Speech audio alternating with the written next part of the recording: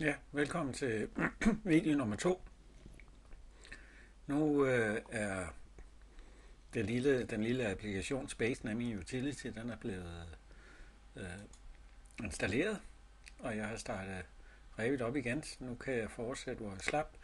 Jeg skal have overført navnene fra mit linkede fil, min arkitektfil, til min mapfil her. Og det er de her space, spaces, som lige skal have de rette navne, så, vi, så det stemmer overens med arkitektfilen.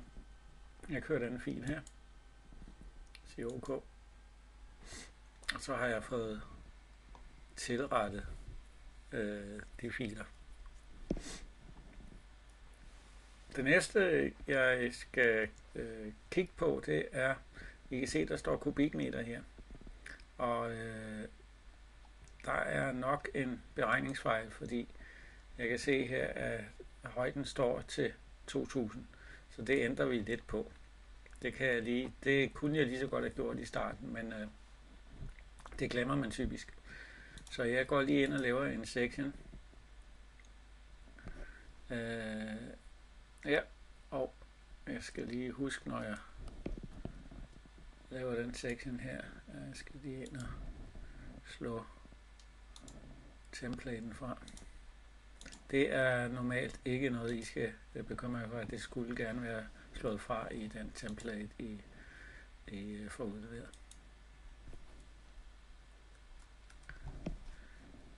Går ind og kigger på mit view her, og ser, øh, højden her er 2 meter, og jeg vil gerne have den til at gå op til ceiling. I kan se, hvis jeg øger højden her, gør ikke noget, den er højere. Den stopper øh, ved ceiling, den går over. Og den beregner også volumen. I kan se hernede, der er 27,16. Og selvom jeg forøger højden her, så bliver der ved med at være 27,16 hernede. Så jeg kan lige så godt bare lade det gå op til min ceiling, fordi øh, det er room bounding, og det vil sige, at den stopper alligevel det. Så jeg går tilbage til min plan view, markerer det hele, går op og bruger filteret og siger check none og vælger mine spaces her. Og så siger jeg, at det skal gå op til ceiling og en offset på 0. Sådan her. Så ved jeg, at de går op til ceiling. Jeg kan lige gå ind og, og tjekke skal se, det passer.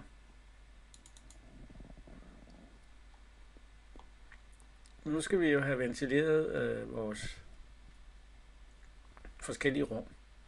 Og øh, nogle af rummene, øh, de rum, foruren, mest forurenede rum, kan man sige, eller der, hvor der bliver skabt mest, typisk vanddamp, det er jo køkken, det er bryggers, øh, det er bad, og i WC'et herovre. Følge bygningsreglementet, der har vi nogle krav til det, og dem vil jeg øh, lægge ind.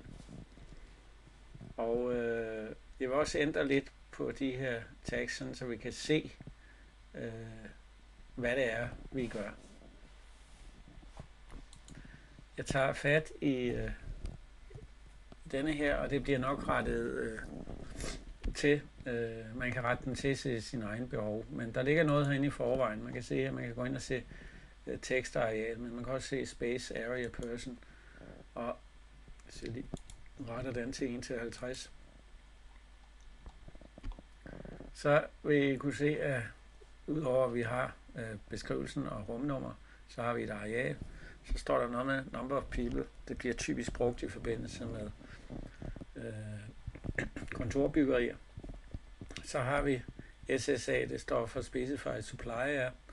Og så har vi Actual Supplier, det er dem, som jeg går ind og Altså når det er supply, som, altså når jeg sætter armatur på, hvad det giver, og det skal jeg jo gerne stemme nogenlunde overens, så har jeg Specify exhaust der, men i og med, at jeg går ind og definerer lidt anderledes øh, nu, sådan så at den luft, jeg tager fra rummene og til mit aggregat, det vil jeg kalde return. Og det vil jeg, fordi alle de her øh, tillægsprogrammer heroppe, det er den måde, de ligesom øh, regner på, at den luft, der kommer fra rummene og til vores aggregat, det er altså return air. Og derfor vil jeg lave en lille smule om på øh, min family her. Jeg går ind og siger edit family, og tager fat i, der ligger forskellige labels herinde, men en af de her labels kan jeg jo ret i. Øh, og det er den her, hvor man har de fleste af, af oplysningerne, så jeg går ind og siger, at jeg ændrer på det. Det er fint nok med øh, nummer og navn og areal. Number of people.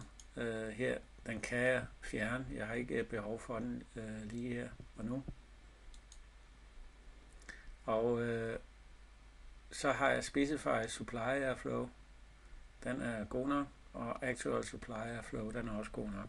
Men specify exhaust airflow, den skal jeg lige have byttet om med specify return airflow.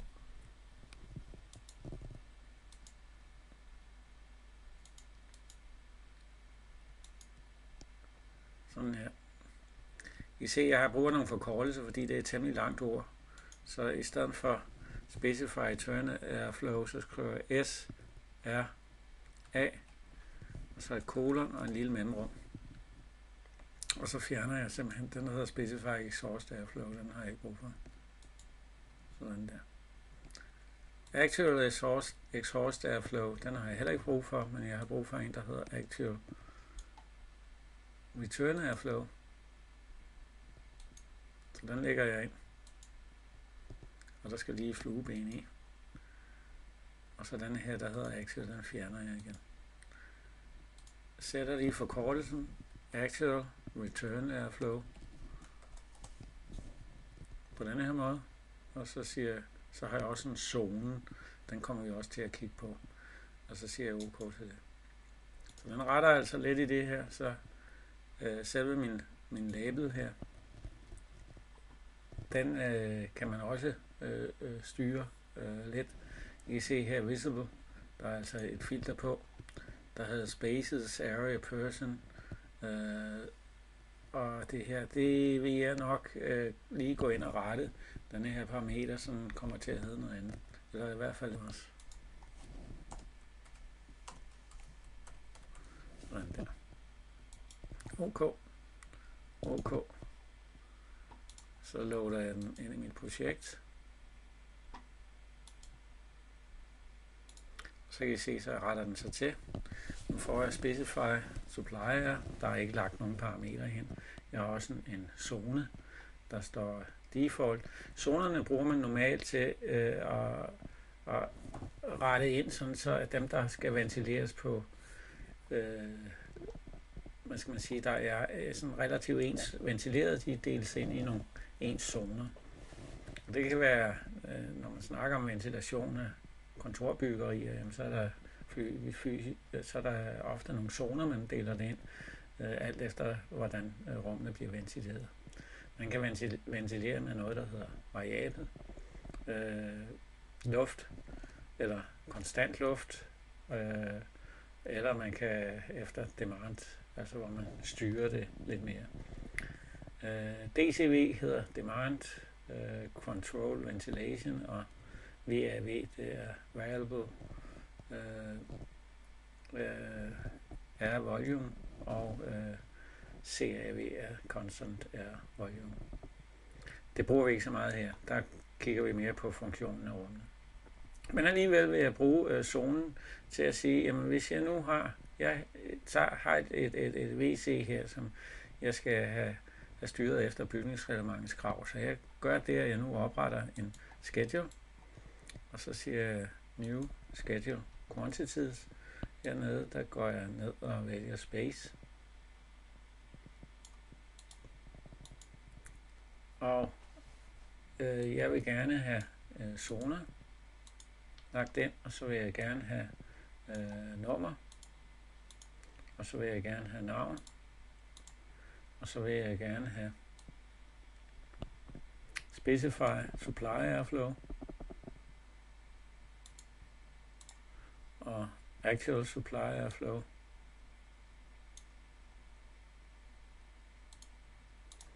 så vil jeg gerne have specify return airflow og actual uh, øh, return airflow.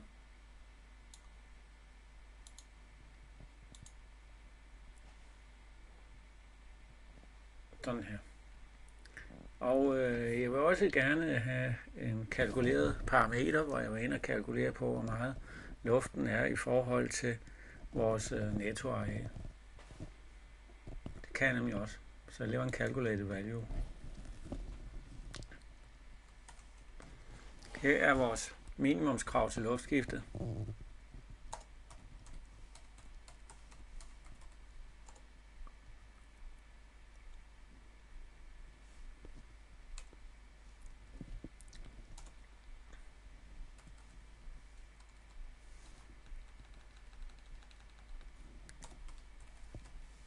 Nettoluftskifter vil jeg kalde det, fordi øh,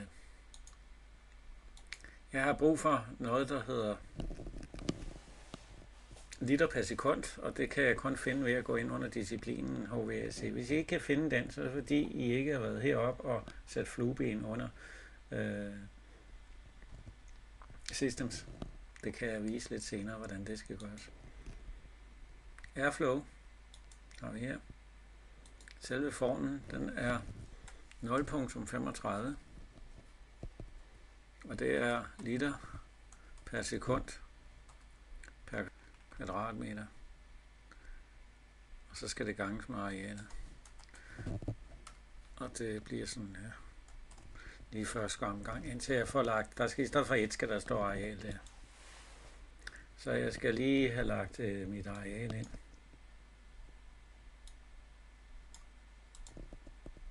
Sådan der. Flytter lige den op. Ja. Nettoluftskiftet går ind og retter. Der skal ikke stå en der. Der skal stå et areal. Og så skal jeg lige slette den enhed bagefter. Sådan der siger OK. Så har jeg øh, mit nettoluftskifte, som bliver regnet ud øh, her. Jeg vil gerne have lagt det sammen, så jeg går ind under formatting, siger nettoluftskiftet skal lægges sammen, calculate totals, mit øh, uh, specify return er uh, øh, flow, uh, og de andre skal også lægges sammen. Også mit, de der bliver lagt sammen. Sådan her. Til OK. Så kan man ikke umiddelbart se noget. Det er fordi, jeg glemte, at der også skal lige sættes et flueben under Grand Totals her, under Sorting and Grouping. Og så kan I se, så bliver der lagt sammen. Jeg får altså minimum luftskiftet på 52,8 liter per sekund. Det er regnet ud, ud fra den her formel. Men jeg har også øh, nogle krav til mine øh, forskellige rum. Og det er jo mit Specify Supply Airflow og mit specify return airflow. Jeg skal altså hive noget luft ud, og det gør jeg for de forurenende rum, og det bliver min return airflow. Det er det, der kommer fra rummene og så hen til min veksler. Og fra et WC, der hiver jeg 10 liter ud. Så jeg retter den til 10. Øh, min bryggers, der skal jeg også 10 liter ud. I hvert fald. Bad skal der 15 liter ud. Arbejdsværelse, ikke noget entré, måske køkken, der skal 20 liter. Det vil sige 55, men det kan godt være, at jeg ændrer lidt. Det kan godt være, at jeg finder ud af, at jeg måske vil ændre lidt på det. For eksempel sige, at jeg hiver noget ud fra en af de andre rum også. Men øh, det er sådan, jeg vil lade det stå her i første omgang. Så vil jeg gå tilbage og lige kigge på mine zoner. Sige, hvilke rum vil jeg gerne have være sammenhørende. Og det er, man kan sige, det har noget at gøre med, hvordan luftfordelingen skal være. Men jeg vil gerne have, at luften bliver hævet ud af mit værelse her, og mit værelse heroppe, og så ryger det ind igennem gangen. Og hvis der ellers er adgangsforhold, så vil det blive hævet ud igennem viset her. Sådan så luften den vil køre den vej her, og den vej igennem. Og da der bliver hævet 10 liter ud her, så tager jeg hver værelserne og siger, om de skal være 5, men det tjekker jeg lidt senere. Nu går jeg lige ind og sætter dem op til at være en fælles zone her. Så det er min ene zone, det er den, jeg har her. Så har jeg køkken her, der bliver hævet 10 øh, om mit bryggert. Øh, mit, øh, der er balance herovre, men mit køkken og min stue, der skal jeg også... Min stue er ligesom adgangsvej her til... Øh, øh, det, de skal ligesom øh, passe sammen. Det jeg nok vil gøre, det er at sætte, hive noget luft ud fra min entré også. Hvis min entréen bliver brugt til tørre tøj eller noget andet, øh, man kommer ind i råt tøj og sådan noget, der er fugt, der måske skal hives ud, jamen så vil jeg sige, det værelse, hvis jeg sætter det til for eksempel øh, 10 liter per sekund til værelse, eller 5 liter, jamen så kan jeg også hive 5 liter ud i entréen, sådan så at de her to, de ligesom øh, hænger sammen. Mit bryggers, mit, mit, øh, og mit køkken her, siger jeg skal være en zone. Og så går jeg op og siger, at det er en zone her. Så har jeg her og min entré sætter jeg også til at være en zone. Og så har jeg mit bad og mit soveværelse. Det sætter jeg også til at være en zone. Så. så går jeg ned i min schedule igen. Deler det ind efter zoner. Og det gør jeg ved at gå ind under sorting and grouping og siger, at det skal deles op efter zoner. Og jeg vil gerne have en footer her. Og så siger jeg OK til det. Så får jeg zonerne her og kan se, at der er 10 liter. Der er Specify Return Airflow, og jeg skal selvfølgelig også tilføje noget luft her. Og øh, min gang, der vil jeg ikke tilføje noget, men øh, hver min værelser, der vil jeg tilføje 5 liter. Så kan vi se, nu er der balance her mellem zone 1. Så går jeg ned i zone 2, der har jeg brygger, stue og køkken. Der har jeg 30 liter alt i alt. Og øh, mit køkken alrum og min stue, hvis vi nu går ind og siger, at der er 30, så kunne jeg sætte Øh, jeg kan se, øh, mit bryggers, der har jeg 10 liter, jeg øh, hiver ud. Og øh, jeg kunne sådan set også lægge øh, 10 liter ind derfra. Så er der så 10 liter i begge dele. Øh, min stue, hvis jeg så hiver 10 liter ud her, så vil I se, der er 20 liter her og 10 liter her. Og det vil sige, at der skal hæves 10 liter fra min stue også, for ligesom der er balance. Så i køkken tager altså noget fra selve køkkenalrummet, men den tager altså også 10 liter over fra min stue af. Så hænger det sammen. Så har jeg min arbejdsværelse og min entré. Der vil jeg gerne hive lidt luft ud. Og der sætter jeg til det samme. Det vil sige, at jeg går altså herover og siger, inden for mit entré, det er nok ikke det helt store, men lad mig bare sætte det til 5 liter. Vi kan se her, at minimumskravet det er 2,1 liter, så det er fint nok. Jeg sætter det til 5, og det gør jeg også ved øh, mit rum herovre, som i øvrigt har et minimumskrav på 3,8. Så 5 liter og 5 liter, det skulle være fint nok til det. Kommer i øvrigt også over kravet, der var 55. Vi ser op på 60 liter her. Øh, jeg mangler 15 liter hernede, og der kan jeg se her, dem hæver jeg fra soveværelset af. Det er godt at have god ventilation i soveværelset. Og øh, nu har jeg 60 liter, 60 liter øh, for begge, og det er altså brugt zonerne ligesom til at regulere efter. Så jeg bruger zonerne sådan her til at dele op efter, hvad er det for nogle rumtyper, øh, hvor skal luften, hvordan skal luften bevæge sig. Tjekker, at der er i orden. Så nu er jeg faktisk nået dertil, hvor jeg kan begynde at, at kigge lidt på, øh, selve. Men ventilationsmængderne og få øh, placeret et aggregat. Jeg har tænkt mig, at det skal stå hernede i bryggelsen. Så det bliver i den næste video.